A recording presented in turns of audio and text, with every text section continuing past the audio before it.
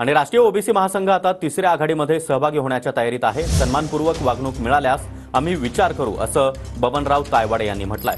विधानसभा निवडणुकीच्या पार्श्वभूमीवर बबनराव तायवाडे यांनी हे मोठं वक्तव्य केलं कुठलंही सामाजिक संघटन एक बळकट संघटन झाल्यावर सक्षम संघटन झाल्यावर त्या संघटनेला राजकीय क्षेत्रामध्ये पाय ठेवावे लागतात समोर यावं लागतं.